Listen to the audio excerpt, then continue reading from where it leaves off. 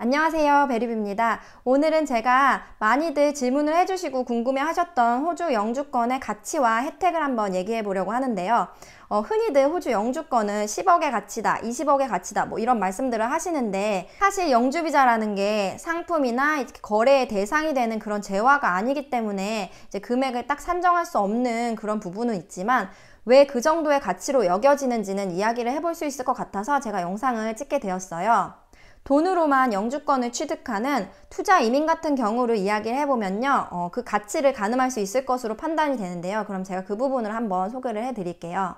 호주 투자 이민은 그 철저히 금액과 숫자로 분류되기 때문에 그 가치를 더 산정하기가 쉬울 것 같아서 예로 설명을 한번 드려보려고 하는데요. 그 금액에 따라 세 가지로 분류가 되는데요. 소액 투자, 고액 투자, 초고액 투자 이렇게 세 가지로 분류가 되는데 그 금액에 따라 조건이 조금씩 다 다르다고 해요. 제가 알아본 정보로는요, 이 지금 이민성 정보를 보시면요, 호주 현재 환율 기준으로 소액 투자 금액은 호주 달러 150만 불, 그러니까 하나로 따지면 한 12억. 고액 투자 금액은 호주 달러로 500만 불, 하나로 약 41억 정도고요. 초고액 투자금은요, 어, 호주 달러로 1,500만 불로요. 하나로 따졌을 땐 122억 정도라고 하는데요. 정말 엄청난 금액이죠. 예, 미국이나 한국의 투자 이민 금액은 약 5억 정도라고 하는데요.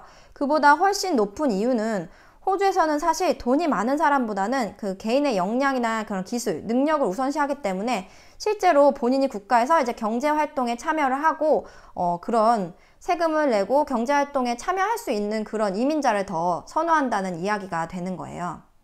그렇다면 이렇게 큰 금액까지 들어가면서 호주 영주권을 취득하는 이유가 뭔지 영주권의 혜택을 얘기해보지 않을 수가 없는데요.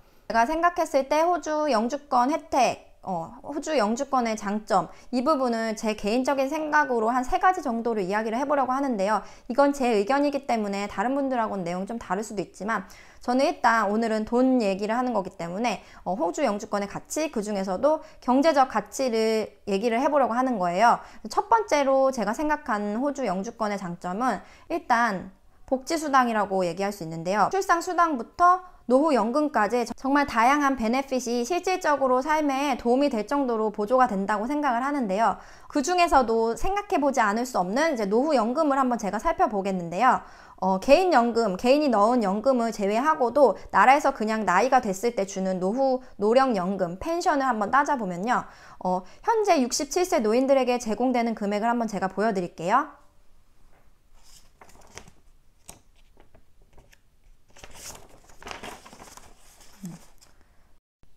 자, 보시면요. per fortnight. 2주마다 주는 금액을 나타내고 있고요.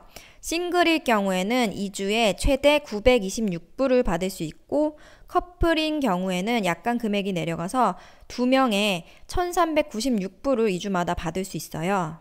두 번째 장점은 제가 자녀가 있기 때문에 이제 그 부분인데요. 호주의 교육을 얘기해보지 않을 수가 없어요. 세계 대학 랭킹 100위 안에 어, 7개에서 9개의 대학이 매년 들어갈 정도로 그 정도의 교육 수준을 보이고 있다고 해요. 영주권이 있으면 이제 호주 공립학교의 교육비가 무료이기 때문에 어, 그 부분을 한번 생각해보면 이어 1부터 이어 12까지 그 금액을 한번 유학생이나 뭐 다른 혜택을 받지 못했을 시의 학비로 따져보면 약 1억 2천 정도의 금액이라고 해요. 그 부분도 혜택으로 볼 수 있을 것 같아서 언급을 해봤고요. 마지막으로 세 번째는 이제 의료 비용인데요. 이제 제가 예전에 호주 의료 시스템에 굉장히 답답한 점을 영상으로 올린 적이 있어요. 이제 그 부분은 제가 일처리 행정적인 면에 단점을 다뤘던 거고요. 제가 오늘 얘기하는 부분은요. 의료에 있어서 비용적인 부분을 얘기하는 거예요. 영주권자 이상에게 그 메디케어라는 의료 카드가 주, 지원이 되는데요. 성형, 앰뷸런스, 그리고 척추, 치과 뭐 이 정도의 의료 서비스를 제외한 모든 국립 의료 서비스가 무료입니다. 모든 의료 서비스가 무료이기 때문에 뭐 검사비, 진료비, 수술비, 입원비 이런 거 하나도 없이 그 GP 일반의를 만나서 진료를 받거나